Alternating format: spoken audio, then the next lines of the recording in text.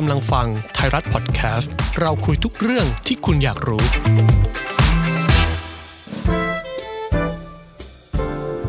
How to รัก รักอย่างไรที่จะใช้หัวและใจไปพร้อมๆกันกับดีเจพี่อ้อยนภาพร สวัสดีค่ะ ได้เวลาเจอกันใน How to รักนะคะ รักยังไงที่เราจะใช้หัวและใจไปพร้อม ๆกัน เริ่มจะคุ้นชินกันแล้วเนอะในการเจอกันใน How to รักอาทิตย์ละหนึ่งครั้งนะคะพี่อ้อยเชื่อว่ามีคนเยอะมากเลยที่บางทีเวลามีปัญหา ไม่รู้จะหันหน้าไปหาใคร และก็เยอะมากไม่ได้ต้องการคำตอบ อยากได้คำปลอบ อยากได้ใครสักคนรับฟัง ยินดีตรงนี้เสมอนะคะ สุขก็เล่า เศร้าก็เอามาฟ้องกันนะ ตอนนี้เราเข้าสู่หน้าร้อนอย่างเป็นทางการแล้วนะคะ พี่เชื่อว่ามีคนหลายคนที่บอกว่าพี่คะรู้แล้วล่ะค่ะอากาศร้อนขนาดนี้ นี่ขนาดมีนาคมเนาะยังไม่เมษายนยังร้อนขนาดนี้เลย ดูแลสุขภาพร่างกายให้ดีๆนะคะ มีเรื่องร้อนกายแล้ว อย่าไปหาเรื่องร้อนใจให้กับตัวเองนะ หรือถ้าใครก็ตามที่มีเรื่องร้อนใจ เราคุยกันตรงนี้ได้เสมอ ได้แต่มองโลกแง่ดีค่ะ อากาศร้อนๆแบบนี้ เชื้อโควิดไม่ค่อยชอบ เชื้อจะยิ่งตายง่าย วันนี้นะคะ ถ้าเราเดินออกไปกลางแดดอะไม่แน่ใจว่าเชื้อโควิดกับเรา อะไรจะไปก่อนเลยจริง ๆ นะ เมื่อตอนที่น้องๆทีมงานส่งคำถามนี้เข้ามาให้นะคะ เพราะว่าน้องๆจะเข้าไปคัดเลือกคำถามในอีเมลที่หลาย ๆ คนส่งเข้ามา น้องบอกว่าพี่อ้อยคะเรื่องนี้ค่อนข้างหนักนะ หนักจังเลยนะคะพี่อ้อยคะไหนลองมาดูซิเรื่องนี้หนักยังไงบ้าง น้องผู้หญิงคนหนึ่งส่งคำถามเข้ามาค่ะ บอกว่าเรากับแฟนคบกันตั้งแต่อยู่ม .6 แล้วค่ะ ตอนนี้อายุ 22 ปี เพิ่งเรียนจบมีงานทำทุกวันนี้อาศัยอยู่ด้วยกันแบบยังไม่ได้แต่งงาน วันหนึ่งแฟนมาบอกว่า เดือนหน้าเขาจะบวช9วัน แล้วก็ซื้อแหวนทองมาให้เรานะคะ บอกว่าขอจองไว้ก่อนนะ หลังจากศึกจะพาเรากลับบ้าน และจะไปสู่ขอแต่งงานกับพ่อแม่เรา ตลอดสองอาทิตย์ก่อนบวชเขาไม่ได้ใส่ถุงยางเลยค่ะ จนกระทั่งถึงวันส่งตัวเขาไปอยู่ที่วัดเพื่อเตรียมตัวบวชเราก็งดคุยโทรศัพท์เพื่อให้เขาศึกษาธรรมะได้เต็มที่ จะมีบางวันที่เขาส่งข้อความมาหา เราก็ตอบกลับไปบ้าง งานบวชผ่านไปค่ะ และปัญหาเริ่มเกิดขึ้น คือรอบเดือนของเราขาด ทำยังไงดี ใจไม่ดีเลยค่ะไม่เคยเป็นแบบนี้รอผ่านไปสองอาทิตย์ก็ยังไม่มา เลยไปซื้อที่ตรวจครรภ์มาตรวจ ปรากฏว่าขึ้นสองขีดค่ะ คือเราท้องก็เลยเก็บเรื่องนี้ไว้ รอเขาสึกมาก่อนแล้วค่อยโทรบอกพอถึงกำหนดวันสึกก็เลยโทรหาเขากะจะไปเซอร์ไพรส์เขานั่นแหละค่ะ เจอเซอร์ไพรส์กว่าใช่ไหมน้องคะปรากฏว่าเขาบอกว่าเขายังไม่ศึกนะวันนี้แม่ขอให้บวชต่ออีก 3-4 เดือน ให้ครบหนึ่งพรรษาแล้วค่อยศึก เราอึ้งเลยค่ะ รู้สึกผิดอยังบอกไม่ถูก ส่วนเขาดีใจมากนะคะที่รู้ข่าว เขาบอกเราว่าเดี๋ยวจะรีบโทรไปบอกแม่ เพื่อขอศึก และจะมารับผิดชอบหนู ตอนนั้นรู้สึกบาปมากเหมือนคนเห็นแก่ตัว ที่จะต้องให้เขาศึกออกมา เย็นวันนั้น แม่แฟนโทรมาด่าเราค่ะ ว่าเราเน่ะเป็นมารศาสนา จะจับลูกชายเขาเพราะลูกชายเขาเนี่ยบวชอยู่แท้ๆเราไม่รู้การะเทศะเลย เขาด่าไปถึงพ่อแม่เราว่าสั่งสอนลูกสาวยังไง ให้มาจับผู้ชายแบบนี้ หน้าไม่อาย ด่าว่าแม่เราก็คงจับพ่อแบบนี้เหมือนกันละสิอุ้ยทำไมถึงขนาดนี้ล่ะคะเออคุณแม่คะอย่าพานสิคะไม่เกี่ยวกันเลย ตอนนี้เนี่ยคุณแม่แฟนบอกว่าบ้านเราคงเป็นเหมือนกันทั้งบ้าน เรานี่อึ้งเลยค่ะ รู้สึกว่าเราผิด แต่ก็น้อยใจนะคะ ว่าทำไมแม่แฟนต้องว่าเราเสียเสียหายหายขนาดนี้ ทั้งที่เราดีกับเขามาโดยตลอด คือก่อนหน้านี้เนี่ยตอนที่แม่แฟนเข้าโรงพยาบาล เพราะประสบอุบัติเหตุรถชน ญาติของเขาไม่มีใครมาดูแลค่ะ ราะอยู่ไกลกันหมด เราอาสาไปนอนเฝ้าแม่แฟนที่โรงพยาบาลทุกวัน ปูเสื่อนอนใต้เตียงคนไข้ทุกคืน เช็ดอึล้างก้นให้ เปลี่ยนเสื้อผ้าให้ทุกเช้า คือทำแบบนี้อยู่เป็นเดือนนะคะ โอ้แต่พี่นับถือหัวใจน้องมากเลยนะ พูดแล้วหนูน้อยใจจังเลยค่ะ แฟนเราเคยเล่าว่าแม่แฟนเนี่ยไม่ชอบพวกลูกคนจีน เราก็ขำๆอะนะคะ แต่จริง ๆ แล้วว่าไอ้ขำของเราเนี่ยข้างในแอบรู้สึกว่า เอ๊ะ หรือแม่แฟนมีปมอะไรกับคนจีนหรือเปล่า ราะน้องเองเนี่ยเป็นลูกของคุณพ่อคุณแม่ ซึ่งเป็นชาวจีน จากนั้นแฟนก็โทรกลับมาหาค่ะ บอกว่ายังไงก็ตาม แม่เขาไม่ยอมให้ศึกอย่างเด็ดขาด ถ้าไม่ทำตามจะตัดแม่ตัดลูก และก็บอกว่าพระน่ะบาปนะที่ขัดใจแม่ พระจะตกนรก แม่จะไม่ได้ขึ้นสวรรค์ แฟนเราก็เครียดมากค่ะ เพราะถ้าให้เรารอถึงสี่เดือน ท้องเราคงโต แฟนจะไปขอเข้ามายังไงทำลูกสาวเขาท้องโตขนาดนี้ และเพิ่งจะมาขอแต่งงาน สุดท้ายแฟนเราเลยตัดสินใจว่า สิ้นเดือนนี้จะสึกเอง ถึงวันนั้นแม่คงไม่โกรธแล้วมั้งเฮ้ยเดี๋ยวสิเอออย่าเพิ่งตัดสินใจอะไรง่าย ๆ แบบนั้นนะคะ ไม่แน่นะพี่อ้อยว่าอาจจะทำให้แม่โกรธหนักกว่านี้หรือเปล่า ถ้าเกิดว่าไปศึกแบบที่ไม่ได้ขอคำปรึกษาท่านน่ะนะคะ น้องบอกว่าตอนนี้เราเครียดทุกทางเลย งานใหม่ก็เพิ่งเริ่มทำเราก็ท้องซะแล้ว ไหนจะกลัวแม่แฟน จะตัดลูกตัดแม่กับเขาจริง ๆ แบบนั้นคงไม่ดีแน่ ไหนจะเรื่องที่บ้าน เพราะตอนนี้ พ่อแม่หนูยังไม่รู้ว่าหนูท้องค่ะ เครียดมากจริง ๆ ค่ะพี่อ้อย ไม่รู้ต้องแก้อะไรก่อนดีโอ้โห ปัญหาซ้ายขวาหน้าหลังจริง ๆ นะ ตอนนี้น้องเข้าใจแล้วหรือยังคะทำไมผู้ใหญ่ถึงต้องคอยเตือนเสมอว่า อย่ามีอะไรก่อนวัยอันควรนะลูก หรืออย่ามีอะไรก่อนวันอันควรนะลูก เข้าใจนะคะว่ายุคสมัยมันเปลี่ยนไปเนอะหลายคนเนี่ยถึงขั้นเถียงว่าความคิดพี่โบราณมากเลยอะวันนี้ใครจะไปคิดแบบคนสมัยก่อน คือไม่คิดเหมือนกันก็ได้นะคะ แต่ป้องกันตัวเองกันดีหรือยัง เราคุมกำเนิดกันเป็นไม่ใช่หรือ ถ้าห้ามใจไม่ไหวขนาดนั้นเนี่ย ป้องกันสิ่งที่จะเกิดขึ้นเอาไว้ก่อนสิคะไม่ใช่แบบนี้ ถ้าพูดตรงๆนะ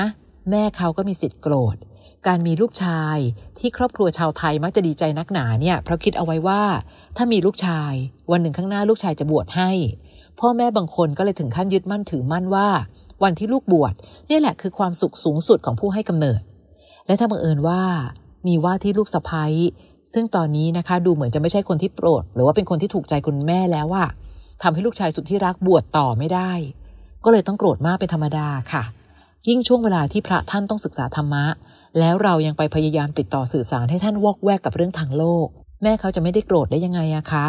คืออันนี้พี่อ้อยไม่ได้เข้าข้างแม่นะ แค่อยากอธิบายให้น้องฟังอีกมุมหนึ่งก่อน การเรียกร้องให้เขารับผิดชอบคือสิทธิ์ของน้อง แต่ต้องไม่ลืมนะคะว่า เราเองก็ต้องมีส่วนในการรับผิดชอบด้วยเช่นกัน การมีอะไรกันแบบที่เขาไม่ได้ป้องกัน แล้วเราป้องกันตัวเองขนาดไหน การไปมีอะไรกันเนี่ยเป็นเรื่องคนสองคน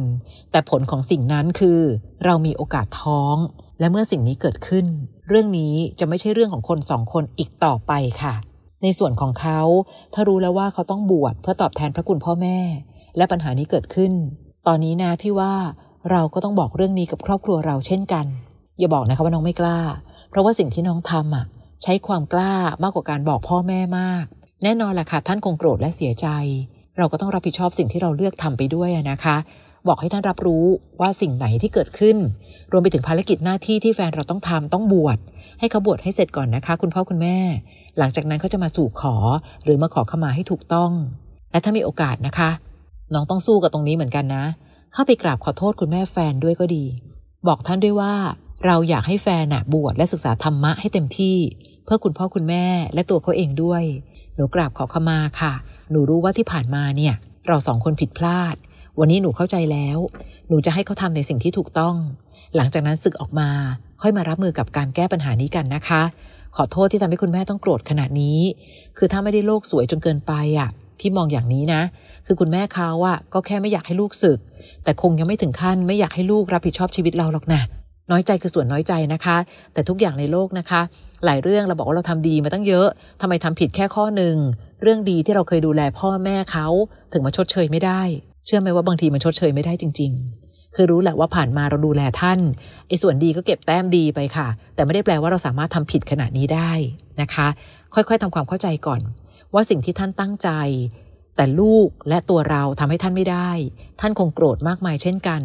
คือที่พี่พูดแบบนี้เพราะไม่อยากให้น้องอคติ ถ้าเมื่อไหร่ก็ตามที่น้องอคติ น้องจะเริ่มทำตัวเป็นอีกฝ่ายกับท่าน คราวนี้คนกลางยิ่งลำบากเลยนะ เวลานี้เป็นเวลาที่เราควรทำตัวให้เป็นทีมเดียวกัน ไม่ใช่อยู่คนละฝ่าย และต้องให้ลูกชายของท่านเลือกข้าง วันที่ครอบครัวที่สร้างเขา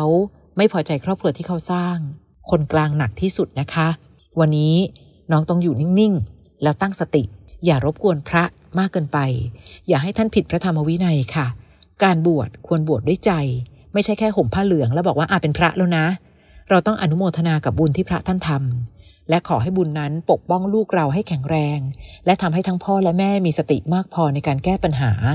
บอกตัวเองไปเลยค่ะ บอกทุกวันก็ได้ว่า ไม่มีอะไรได้ดั่งใจเราเสมอไป สิ่งที่เราทำก่อนหน้านี้ก็ผิด และสิ่งที่ทำให้เราลำบากในวันนี้ คือการชดใช้ความผิดที่เราทำ น้องเป็นแม่คนแล้วนะคะ เอาแต่ใจไม่ได้ ใช้สติกำกับหัวใจ จะสื่อสารอะไรคิดแล้วคิดอีก เพราะว่าวันนี้เนี่ยการพูดอะไรผิดไป อาจจะสร้างความไม่สบายใจกับทุกฝ่าย ระหว่างที่ท่านบวชจัดการปัญหานี้ด้วยตัวเรากับครอบครัวของเราก่อน การที่ต้องให้ท่านศึกออกมา เพื่อรับผิดชอบทุกอย่างในวันนี้ อาจจะสร้างความรู้สึกไม่ดีกับครอบครัวเขาอะค่ะ ซึ่งในที่สุด เดี๋ยวจะมีผลต่อเราในระยะยาวอยู่ดี อันนี้เนี่ยยังไม่นับว่าแฟนกับเรา รักกันดีมาตลอดใช่ไหมคะ รู้จักกันมามากมายแค่ไหน ดูใจกันนานพอหรือเปล่า คือบางอย่างพอมันรวดเร็วเกินไป เราก็เลยต้องเสียเวลาแห่งการเรียนรู้ใจในฐานะแฟน เราก็เลยต้องเสียเวลาในการเรียนรู้ใจกันในฐานะแฟน เข้าสู่สถานะใหม่แบบไม่ได้ตั้งตัว คือการเป็นพ่อของลูกและแม่ของลูกด้วย ถ้าไม่มองแต่มุมของตัวเองมากเกินไปนะ คุณแม่ของแฟนเราท่านคงไม่ใช่แค่โกรธอะค่ะ แต่คงเสียใจไม่ใช่น้อย ลูกทุกคนคือความหวังของพ่อแม่ พี่ถึงย้ำเสมอไงคะ อย่าทำอะไรแย่ๆ เพราะหัวใจพ่อแม่จะเจ็บที่สุดนะ ตั้งสติก่อน คุยกับครอบครัวเราก่อน ปล่อยให้เขาได้ทำหน้าที่อย่างเต็มที่ที่สุด อย่าหยุดอะไรกลางครันค่ะ ไม่อย่างนั้นเราอาจเจอชีวิตคู่ระยะสั้นก็ได้ ถ้าเราตัดสินใจทำอะไรต่อมีอะไรเร็วเกินไป บางเรื่องต้องรอให้เป็น และเย็นให้ไหว คุยกับพ่อแม่ของเรา แล้วรอไปพร้อม ๆกัน อย่างน้อยการบวชของเขาจะได้เป็นอนิสงส์ผลบุญนะคะ พ่อแม่คะเขาบวชค่ะ เพื่อทำให้ไม่แน่นะบุญนี้จะส่งให้ลูกที่อยู่ในท้องหนูแข็งแรง ตั้งสติให้ดี วันนี้รู้แหละว่าหลายคนใช้ใจในการแก้ปัญหาทุกเรื่อง ใช้ใจในการดำเนินชีวิต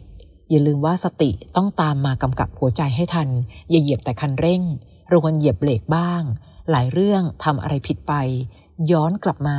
เพื่อที่จะเอามาแก้ทีหลัง ไม่ได้จริงๆบังเอิญว่าน้องส่งเรื่องนี้เข้ามาใน How to รักนะคะ พี่อ้อยอยากให้เป็นสติกับหลาย ๆ คนด้วย ที่ฟังกันอยู่คงจะมีลูกสาวและลูกชายของหลาย ๆ บ้านที่ฟังอยู่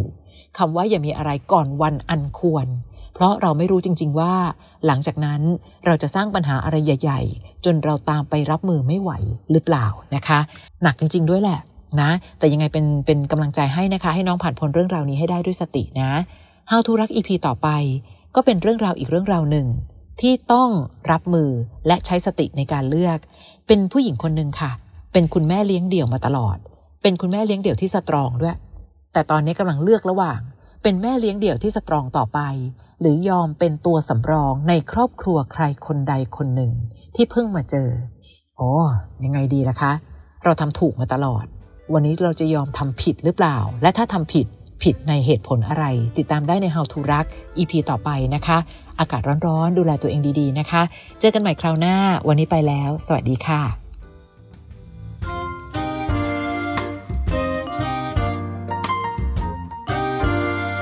How to รัก รักอย่างไรที่จะใช้หัวและใจไปพร้อมๆกันกับดีเจพี่อ้อยนภาพร